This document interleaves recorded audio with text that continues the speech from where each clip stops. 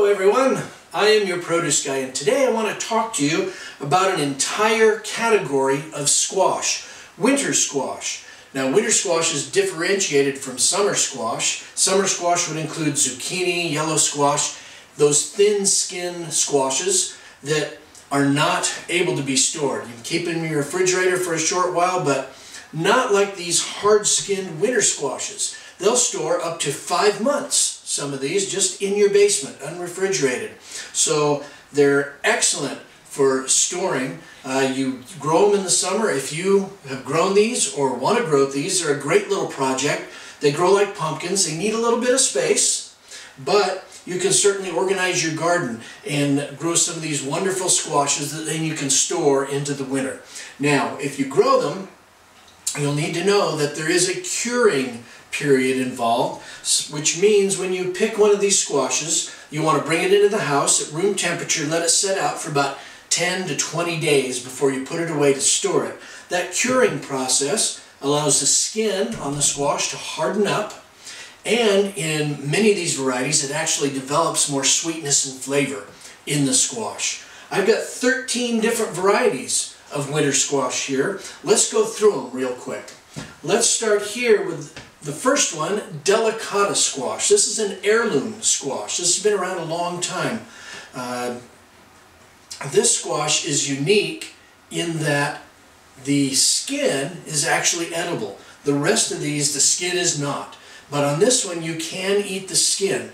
And as a consequence of that softer, more edible skin, it doesn't store as well. So we're kind of going to go through these as the shorter storage to the longer storage squashes. So that delicata, delicious uh, flesh inside, but uh, edible skin. That's what differentiates that one in an heirloom variety. Here's a gold nugget squash. This is a little, like a little tiny pumpkin, this one. Uh, delicious. You can cut it open, scoop out the seeds, fill it with butter, brown sugar, and bake that up. The next two are related they are acorn squashes, or when, uh, when I worked in the produce department, we called these table queen squashes. It kind of looks like a crown there.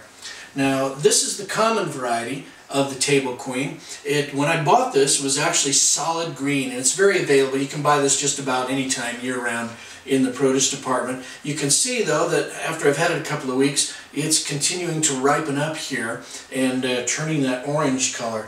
I've also got this white table queen squash. And you would use these both the same. They've got a seed cavity in the center and you can open those up. These can be roasted, uh, baked, or uh, even done in the microwave.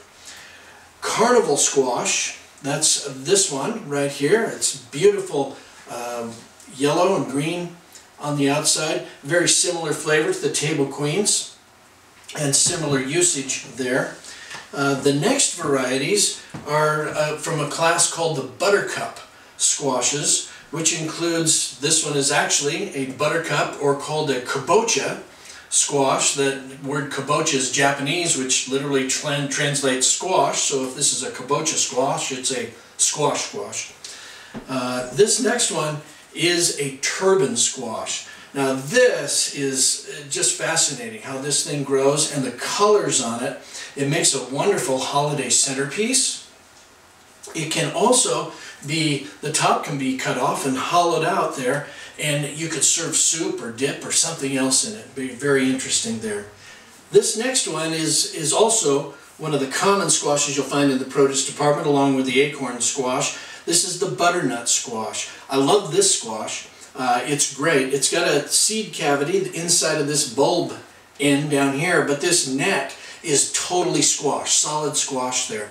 You'll see a lot of recipes for butternut soup squash. It's great roasted. I've used it in a pan fry like a potato.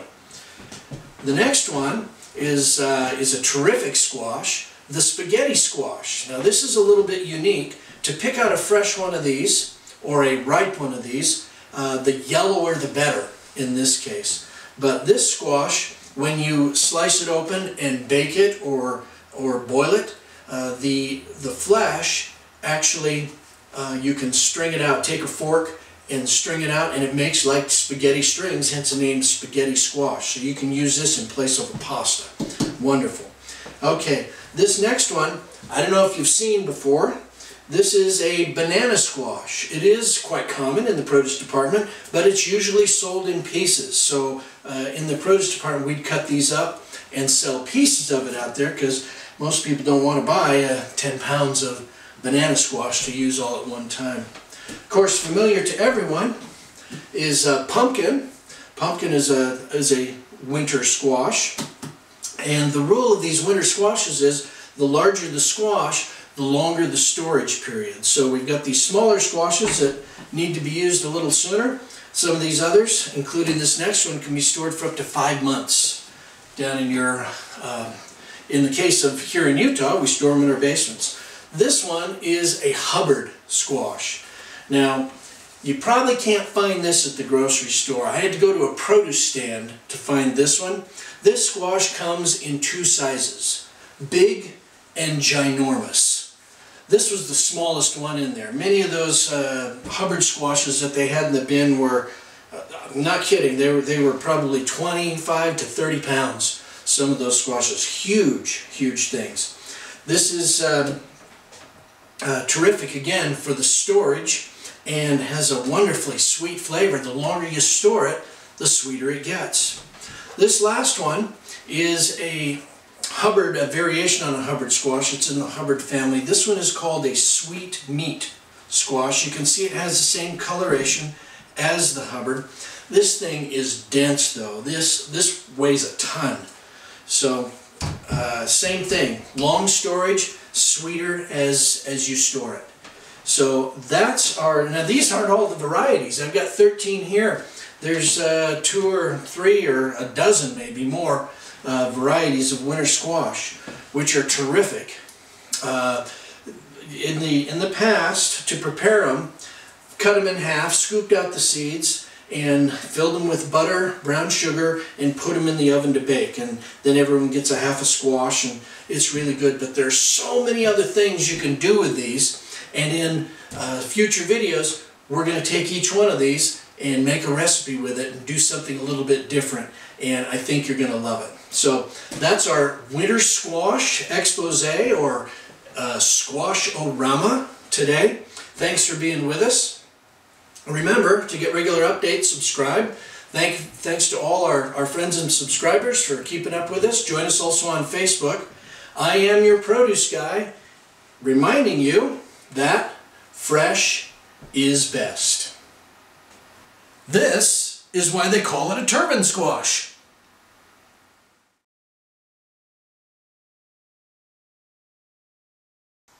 Hello everyone, I am your produce guy and today we're going to make a guacamole. You know I love guacamole and salsa. If you've seen my videos, have a lot of recipes for those. This is a great one because it takes two great tastes and now they're going to taste great together.